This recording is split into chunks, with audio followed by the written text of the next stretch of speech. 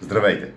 На 29 октомври на сцената на Благоевградския театър в рамките на Балканския театрален фестивал ще играем Амадеус, постановка на Варненския драматичен театър. Аз съм Стоян Радев и ще се радвам да се видим. Заповядайте и до скоро!